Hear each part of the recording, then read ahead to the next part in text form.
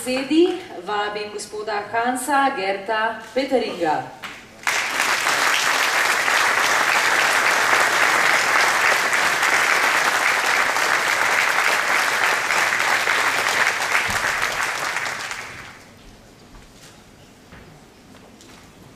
Izvolite, beseda je vaša.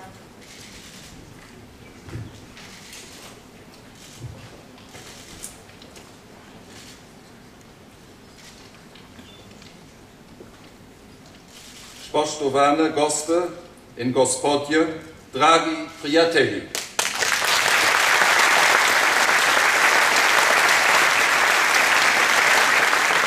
Zelo me veseli, da sem danes s vami na Birdu, Birdu in da vam lahko povem nekaj besed na kongresu STSA. Now, for your advantage and for my advantage, I will continue in English.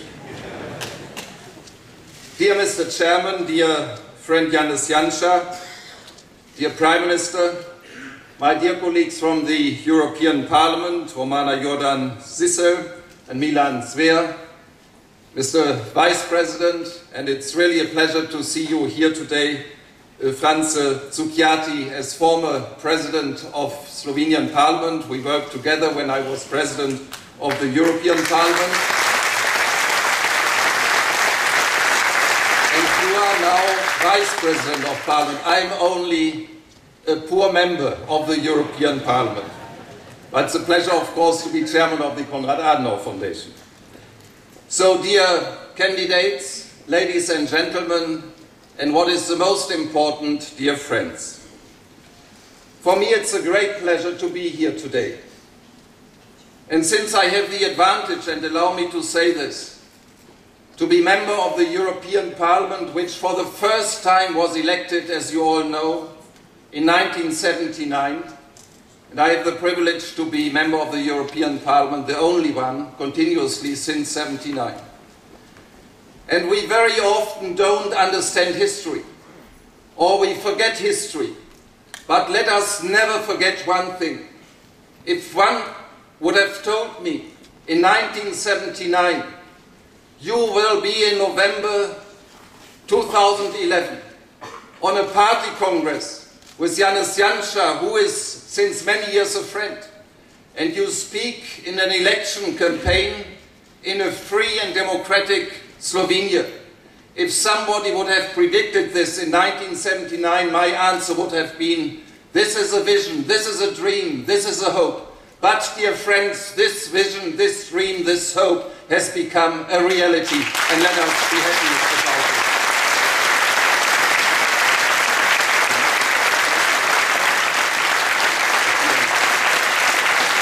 And dear friends, this is a time of problems.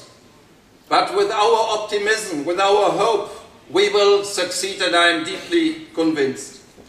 But let us never forget that the European Union is not just a, a ge- geographic uh, union or geographic organization. No, it's a community which is based on values which is unique in the world.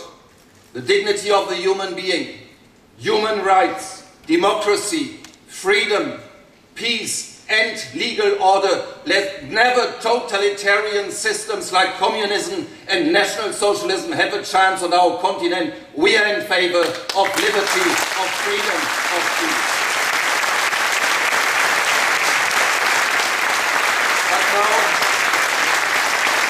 Now, I want to say this, it was one of my really best experiences as President of the European Parliament, and it was long before I got to know the friends of SDS and your leader, your chairman, Janez Janša. He was the first ever President of the European Council coming from the member states who joined the European Union in 2004. Ever, the first ever President of the European Council from the former communist countries and he did an excellent job.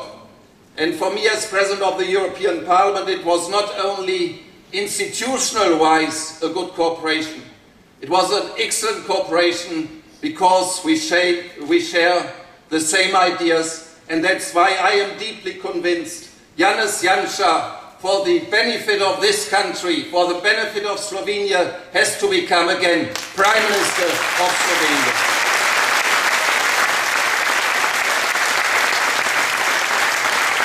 But now, dear friends, we certainly have great challenges. And the euro crisis around Greece shows that. We will have to adopt the right blend of solidarity among the member states and firmness in cutting expenditure and returning to growth. Only in this way we will be able to avoid the trap of ever-increasing debt and only in this way we will guarantee that the euro remains an asset of financial and economic stability and growth. And that is important not only on the European, for the European Union as such, but it's important for the national level. And in June this year, an article in the respected German business newspaper Handelsblatt had been published with an alarming headline. And I would like to quote it. Euro crisis. Slovenia becomes a new problem child of the European Union. And then it goes on, a long time Slovenia was considered as model country, but now it's developing as a new problem case in the Eurozone. Government has to save strongly to avoid Greek problems. End of the quote.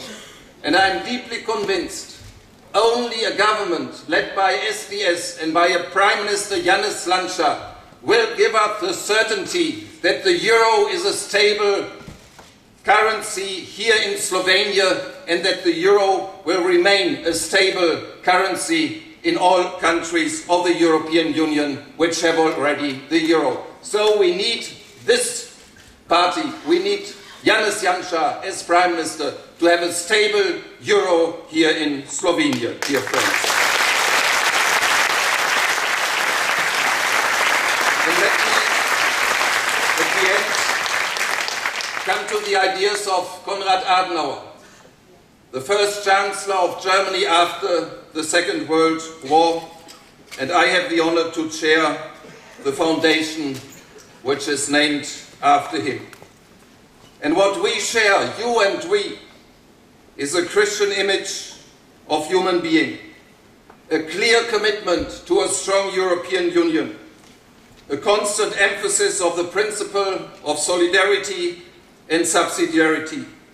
And, translate, and translating the social market economy in the 21st century.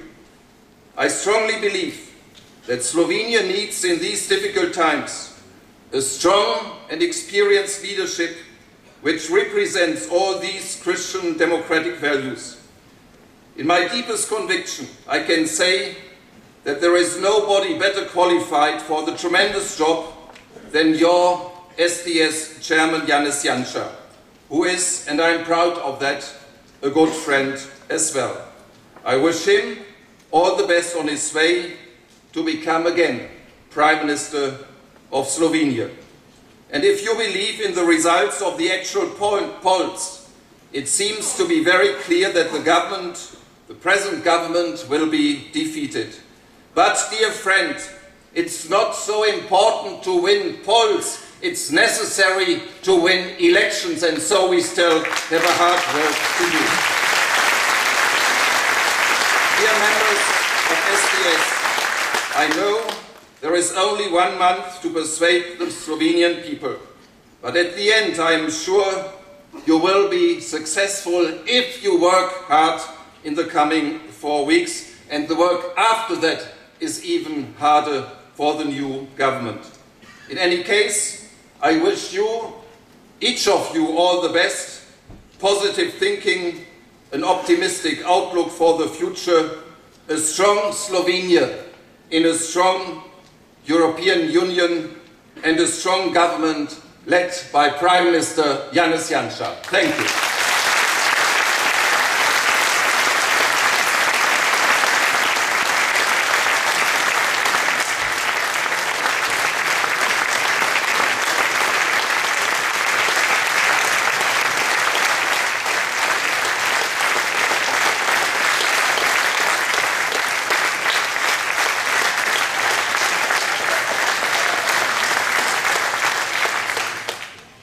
Narod, spoštovani gospod predsednik, dragi prijatelj Janez, spoštovani predsednik vlade Republike Makedonije, draga kolega Romana Jordan Cizel, Milan Zver, spoštovani eh, podpredsednik, gospod Franc Sutjati, podpredsednik državnega zbora, kolegice in kolegi, dragi kandidati eh, za državno-zborske volitve, gospe in gospodje. V veliko čast mi je in veselje, da sem se lahko udeležil konvencije Slovenske demokratske stranke.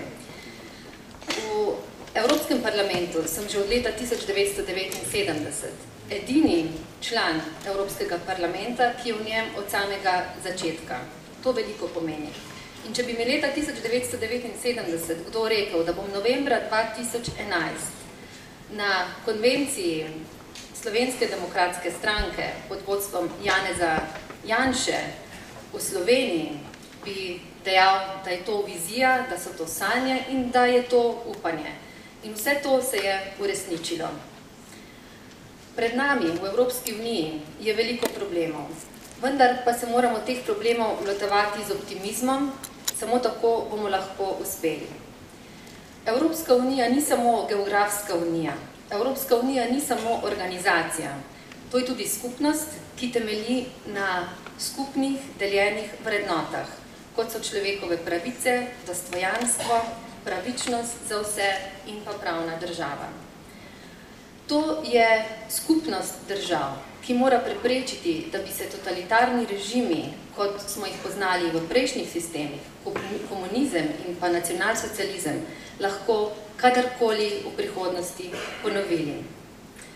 Slovenija si zagotovo zasluži najbolj izkušeno vodstvo in to vodstvo ima v slovenski demokratski stranki. Moj prijatelj Janez Janša je bil prvi predsednik kakršnekoli bivše komunistične države, ki je vodila Evropski svet v Evropski uniji. To nalogo je upravil odlično. Z njim sem odlično sodeloval na uradni, kot tudi na osebni ravni. Eden od razlogov za to je tudi to, da deliva skozi svoje stranki iste ideje in iste vrednote. Zato sem prepričan, da mora naslednji predsednik vlade postati Janez Janša za korist Slovenije.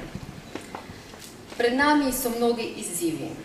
Pred nami oziroma soočamo se s krizo skupne valute, evra. Um, ukvarjamo se z Grčijo in njenimi težavami. Vse to lahko premagamo na osnovi solidarnosti, na osnovi izkušenega vodstva, Samo na ta način lahko ponovno dosežemo rast in pa premagamo pretirano zadolženost Evropske unije ter omogočimo stabilnost evroobmočja in pa rast.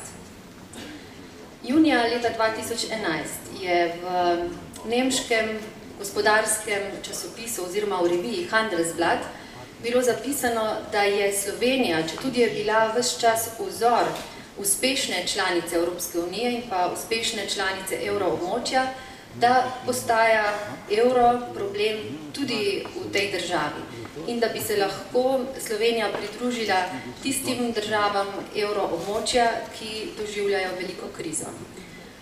Eh, te težave in to krizo lahko premaga samo močna vlada, ki jo bo vodila Slovenska demokratska stranka. Zato potrebuje Slovenija Janeza Janša. No in na koncu naj omenim še Konrada Adenauerja in njegove vrednote. Konrad Adenauer je bil prvi kancler Nemčije po drugi svetovni vojni in jaz imam čast, da sem tudi predsednik ustanove Konrada Adenauerja. Verjel je v vrednote, kot so krščanska podoba Evropske unije, človekove pravice, močna Evropska unija, solidarnost, subsidijarnost, tržna ekonomija, predvsem v 21. stoletju moramo dati tržni uh, ekonomiji novo podobo v obliki socialne tržne ekonomije. Slovenija potrebuje močnega, izkušenega vodjo, Slovenija potrebuje vodjo, ki bo svoje delovanje utemeljil na vrednotah. In vse to najde v Slovenski demokratski stranki in pa njenemu vodju. Želim vam, da bi uspeli v nadaljnih tednih prepričati voljivce, da ste vi tisti, ki boste lahko zagotovili uspeh. Zato boste morali trdo delati, tega se zavedate. Želim vam veliko optimizma, veliko moči, zato da bo Slovenija lahko močna v Evropski uniji in da bo tudi nasploh Evropska unija lahko močna in zopet dosegla rast. Hvala lepa.